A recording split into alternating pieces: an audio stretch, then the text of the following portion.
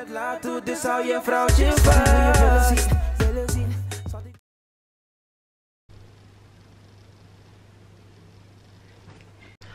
What's up mensen? Lato hier zo.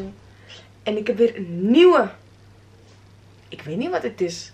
In ieder geval, ik noem het zo. Vijf dingen die jij niet over mij weet. Laten we beginnen. Oké, nummer 1. zoals jullie weten, ik ben DJ. Ik vlog, maar dat is niet mijn hoofd. Mijn hoofdbaan is DJ. Eh, en ik reis veel. Ik vlieg veel. Maar ik heb echt heel erg faalangst. En vliegangst. Ook angst voor de tandarts. Maar ja, mijn vliegangsten en mijn faalangsten tijdens het draaien zijn wel heftig. Ehm, hoe beschrijf ik dit? Voordat ik moet vliegen naar het land waar ik naartoe ga, word ik ziek. Dezelfde dag ziek. Kan niet eten. Soms moet ik overgeven. Gewoon van de spanning dat het het zit gewoon helemaal hier. Ehm, ja, ik heb daar gewoon heel veel moeite mee met vliegen. Ik ben altijd bang. Je hebt geen controle. Turbulentie. Turbulentie is eigenlijk helemaal niks slechts. Maar toch op de een of andere manier. Ik zit zo helemaal verstijfd zit ik gewoon in het vliegtuig. Ehm, en met draaien precies hetzelfde. Ik heb altijd eh, buikpijn. Altijd naar de wc voordat ik, voordat ik moet, moet draaien. Moet naar de wc. Ik buikpijn. Ehm, en op het podium ook heel veel faalangst. Ik probeer me er altijd wel overheen te zetten. Maar het is toch moeilijk. En hoe minder mensen, hoe meer faalangst. Dus ik draai liever voor 30k. Dit allemaal mensen. Dan, ehm, dan voor bijvoorbeeld 50 mensen. Omdat ik heb het gevoel dat die 50 mensen let, zitten zo op je te letten. En je wil geen fouten maken. Ook jullie, jullie horen dat niet. Ik hoor het zelf wel. Ehm, en dat, dat geeft heel veel pressure of zo. En dat is wel een van de redenen eh, dat ik daar heel veel moeite mee heb. eh, dat ik toch onzeker ben. Ik weet ik niet onzeker hoef te zijn, want ik weet wat ik kan. Maar toch, er is een bepaalde. Zo, ga ik de kwijt hier. Er is een bepaalde druk die je hebt. En je wil gewoon heel goed presteren. Ehm, mensen verwachten veel van je.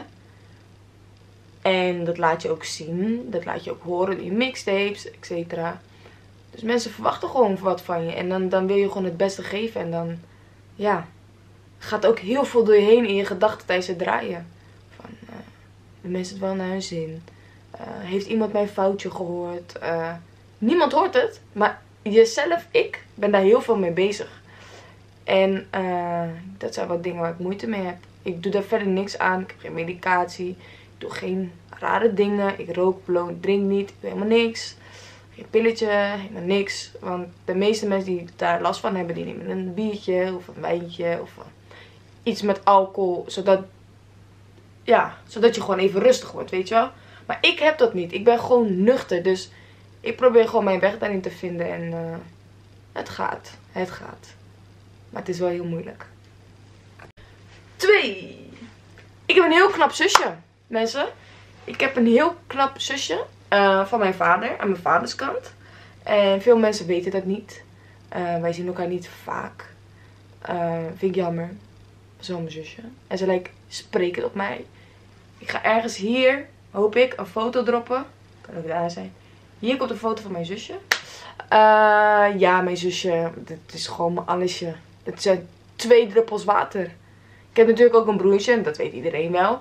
Maar mijn zusje, wij zijn, het is gewoon een kopie. Alleen, zij heeft mooie ogen. De rest we zijn gewoon een kopie. Dat is wat veel mensen denk ik niet weten. Ik heb een, eh, een zusje. Dus dat. Drie. Ehm, ik heb ADHD.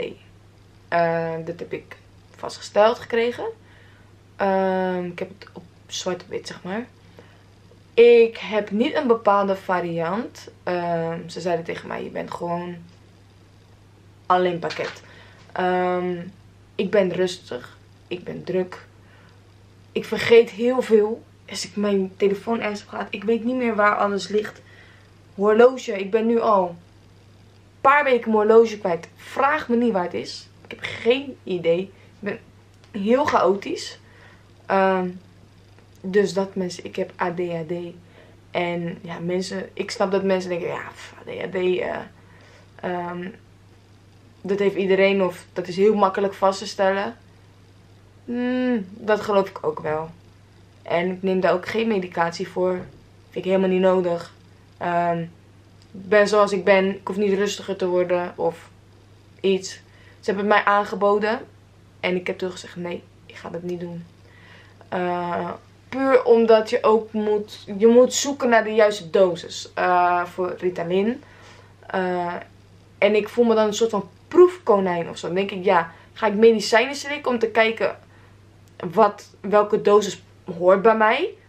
Terwijl, this is who I am. Ik ben druk, ik ben luid. Ik ben ook heel rustig. En dat is wat veel mensen denk ik niet zien. Ik ben echt wel heel rustig eigenlijk. Maar natuurlijk, als ik met mijn mensen ben, op straat. Ja, mensen zie je altijd vrolijk. Ik ben ook nooit zo gereinig.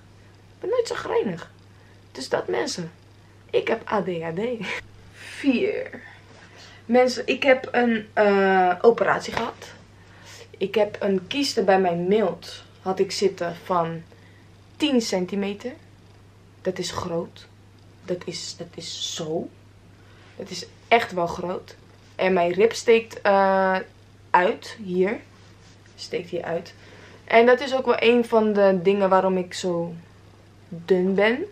Um, de, die kieste heeft alles bij mij klein gedrukt. Um, mijn maag. En als je gaat eten, komt dat door je maag. Dus ik zit snel vol. Ik kan heel veel eten. Ik eet ontzettend veel. Ik eet echt een heel de dag door eten. Mensen vragen altijd, waar laat je het? Vraag me niet. Denk in de wc-pot.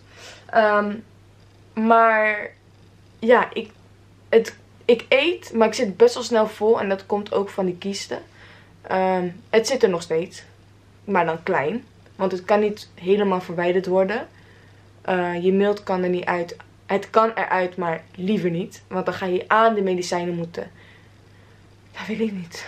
Ik wil het niet, weet je. Um, het was ook wel heel heftig voor mij, die tijd. Um, ik moest, het was eigenlijk een, een, kijkoperatie. Ik heb drie sneetjes in mijn buik. Drie littekentjes. Um, maar ik was heel ziek geworden daarna. Van de, hoe noem je dat? Van de narcose. Narcose. Voor mij van de narcose. Heel ziek geworden. Ik heb alleen maar overgegeven, overgegeven. Terwijl, ik de dag daarna weg mocht, heb ik zeker drie dagen nog in het ziekenhuis gelegen.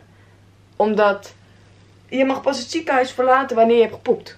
Maar ik at niet. En ik kotste alleen maar. Dus ik mocht niet weg. Uiteindelijk had ik een dronnetje. Was, ik was nog nooit zo blij geweest met mijn mop. Ik was blij en ik wou zo graag toen al weg in, uit het ziekenhuis. Ik, trauma. Ik, ziekenhuis vind ik niks. En op een gegeven moment zei ik dus van, hey, ik heb gepoept.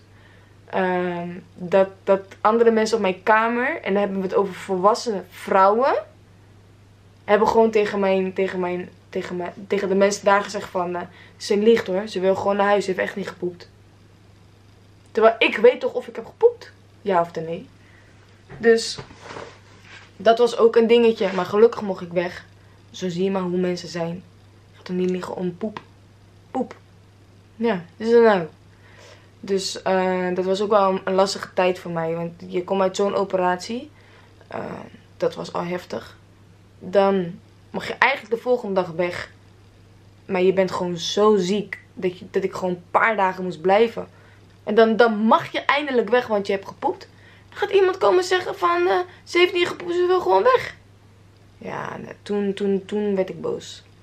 Denk ik echt van Jezus, uh, hou je bezig met je eigen leven. Is helemaal niet nodig. Is helemaal niet nodig. Nummer 5. Uh, eh, ik denk dat jullie dit wel weten, maar misschien ook niet. Ik heb geen diploma's. Ja, heel stom. Ik heb geen diploma's.